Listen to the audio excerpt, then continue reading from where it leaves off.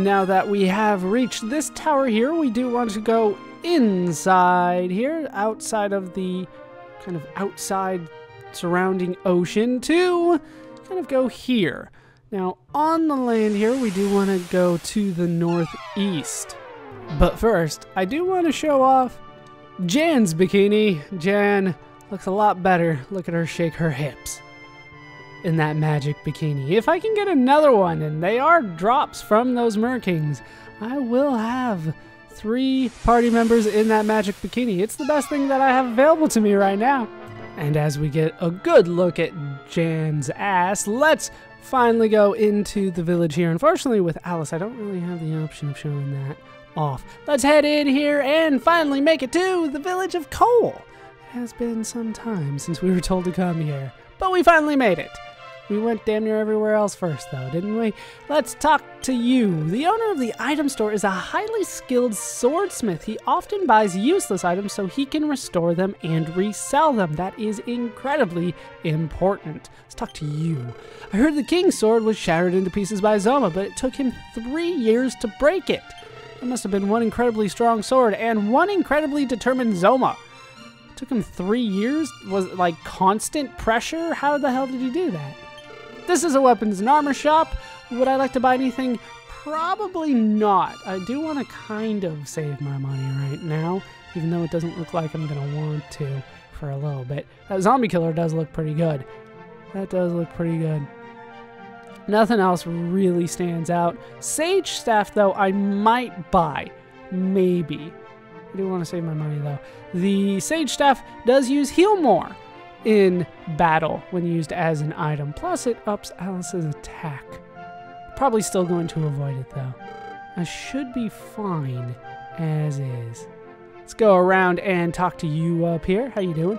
Rubiss is sealed in a tower on an island just off the western so shore of this peninsula.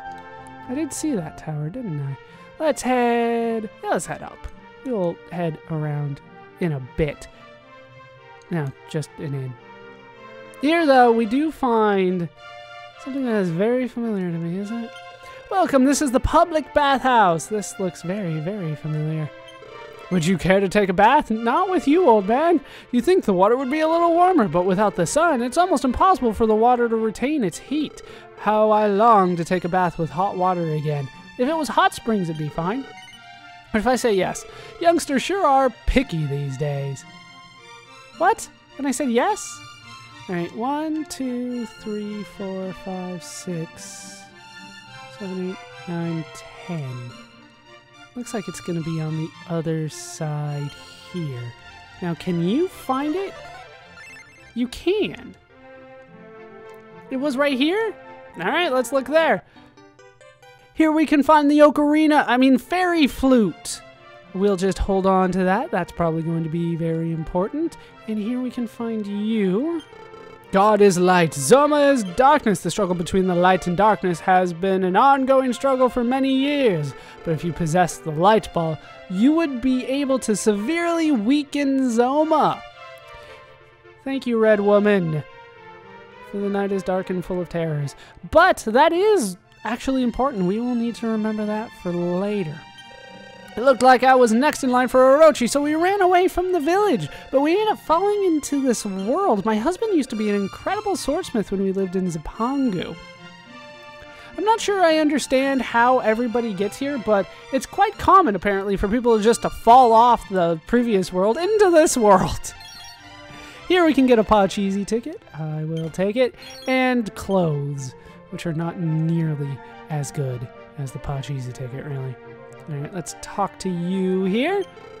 With the fairy flute, Rubiss can finally be freed from her curse that imprison her, imprisons her in stone. So now we do have our next destination. We need to get to that tower and use the fairy flute.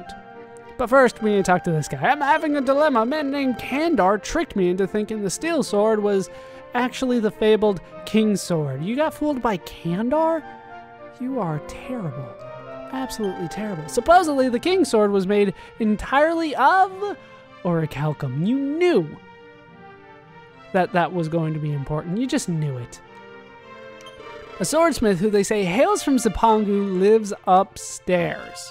Now, this is where things start getting a little mm, iffy, but I should be fine. In here, we can find a small medal. That is not iffy.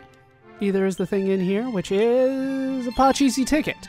Now, this is where I always get nervous. This is a guy, by the way. It doesn't look like a guy to me, but I'm not up to date on medieval Japan. Let's talk to him. This is an item shop. How can I help you? Do you have anything that I want? Not really. You do have slime earrings, but I'm... Um, eh, no. This is where things are really weird. What I want to do is sell something from the bag. I want to sell my orichalcum, one of the most expensive things that I have. And I'm just going to give it to this guy. Well, I'm selling it, I'm getting money. But still, there's something very wrong about this. Y yeah, okay. Take it. Would you like to sell anything else? No, I am good. Now I have a lot of money, it looks like. Not so much. You'll see why in a bit. Now, how you have to do that is a little strange, but that is at least the first part down. Is there something on this spot? I thought there might be. A Pachisi ticket there. Now, with that done, I think we are... Hmm. Now I'm going to, to rest at the end, make sure that I've gotten all the items, and then we will head down this well that I've been avoiding. Only one small item that I missed, and that is right here on the stairs. We can find a small medal. Did not think to look on stairs. Probably didn't get that in the seek out either. Now we are ready to go down the well. As you might expect, there is actually something to do down here. Otherwise, I wouldn't have put this off for so long. Now, I believe it's like here. I can find another small medal. So what is the big deal here? Well, there's a cave over there. What is this? This is Kol's Pachisi Plaza. We have another Pachisi course to take care of. What we need to do here is first find all the items that I want. There sure is a lot of gambling in this hot spring town. Sure, sure there is. We need to head way over here where we can find ourselves a Pachisi ticket. That's one Pachisi ticket. We will probably be using quite a few here. I do not like this but I'll cut out any times that I lose gratuitously, though. Man, this one sure is exciting, isn't it? Ah, I hate it. It's so random. I'm just a spectator. Of course you are. Now, that's the first floor, as I'm sure you might imagine. This one has multiple floors as well. Now we need to search all these stars here where we can find more Pachisi tickets. And if I remember right, this is where you land if things don't go your way. Another Pachisi ticket there, and one more here. Now we can head up to the top floor. You know, is it going to be better if I put somebody in a bikini on this? Probably not. Probably not. Now, we should be able to find the goal somewhere around... No? Alright. There's the key. There's the key. There's the goal. Now, is it here? There we can find another small medal. This is starting to get ridiculous. starting to get ridiculous on how many hidden items there are just lying around here. Now, I think we need to go back around into the other side because there's still more. We're not done here yet. I think we need to go up and around. Now, I think it's somewhere around this corner here. Where is it? I'm not sure on this one. Oh, it is the corner itself. I didn't think it was. And we can get another Pachisi ticket there. I mean, it's just insane to me how many Pachisi tickets there are. I think, though, that is it. I think that is all of the hidden items that are lying around here. So let, I'll just meet you back at the start. Good God, it's a ways. I think we're as ready as we're gonna be. Let's talk to you and get into the Pachisi game yet again. 25 turns, that might not be enough, but there are a couple things here with small medals that I do want to point out. The first one being this chest, this drawer, this dresser right here. So I will be back for that. There are also ooh, two steps, three steps. Uh, we're gonna go to the right. Seriously, I'm also going to cut the battles if like this. They're just gonna take too long. With one person, with a single target, sword, it's not necessarily that easy. There is another pot that I do want to go to, uh, but there are two exits to this game. I'm obviously going for the one on the right side here. Anything but a three. Are you kidding me? All right, since they're not going to give me the opportunity to show it off, if you go to the right side, this pot here has a small medal in it. Now, you have to go around this set of stairs in order to get it. So I will probably be back for that because I need to get warped to the left side. We're still in this. You know, it's still entirely possible for us to make it through this, but it's going to be a bit of a challenge. So I'm going to roll again, and I'm going to hope for the best. Another turn, that's always worthwhile. Don't give me a two, that thing hurts so damn bad. Four, I can deal with a four. Uh, yes, there's a sign that says pick a path. Okay, I was kind of hoping for something better than that, but I'll take it, I guess. Yes? Hey, I find some gold. A good chunk of it, too. Let's continue on. You kidding me? Under this thing, it hurts so bad. It hurts so bad. I'm gonna have to heal before I even get into a fight. Five? Perfect. Puts us on to the next floor. Now, this is doing pretty well. This is this is pretty good. No, I'm not gonna risk it again. I think we're good. I need some higher ones here. We still have a ways to go. Open the drawer and we find a muscle guidebook, which I do not care about. But we still need to make it to, it turns out, the regular goal this time. Great, a doubtful voice can suddenly be heard. Guys, servants, grant this person your power. Kim's strength increased by four points. Very, very nice. We'll take that. Five more. Gas flows out from below.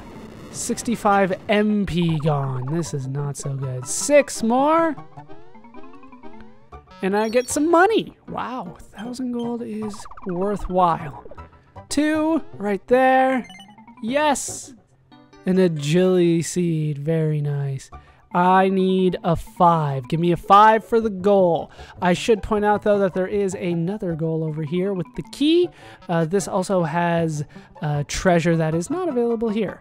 You can see just the one treasure chest there. There's actually two in the other one. So hopefully I can manage to pull this off. Six is not going to do it. No. Give me a one. Give me a one. Yes!